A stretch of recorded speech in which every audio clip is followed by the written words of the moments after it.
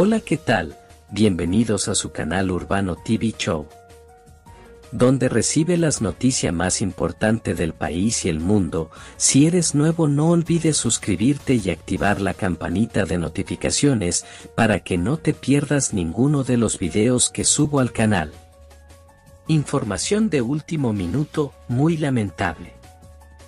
Un dominicano es asesinado en Filadelfia. Un hombre de nacionalidad dominicana nativo del Factor, provincia María Trinidad Sánchez fue asesinado en Filadelfia, el hoyo oxiso fue identificado como Ronnie Sánchez.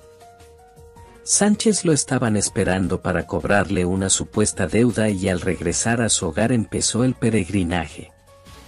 La víctima fue obligado a entrar a su hogar, quien fue amarrado, mientras su esposa estaba en otra habitación encerrada junto a sus hijos. La recibió un tiro mortal en la cabeza y su cuerpo abandonado, los criminales emprendieron la huida tan pronto cometieron el hecho. El lamentable hecho se registró en el 7700 Dairfield St. la noche de este pasado domingo. Las autoridades investigan el hecho.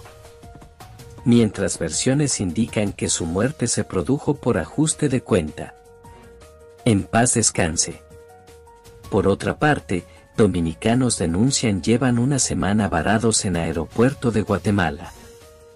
Un grupo de dominicanos denunció este lunes que llevan más de siete días detenidos en el Aeropuerto Internacional La Aurora de Guatemala, supuestamente por no contar con los requisitos para entrar a ese país centroamericano. Nos tienen secuestrados la gente de migración. Tenemos días sin dormir y sin bañarnos, denunció un joven al periódico Agenda 56.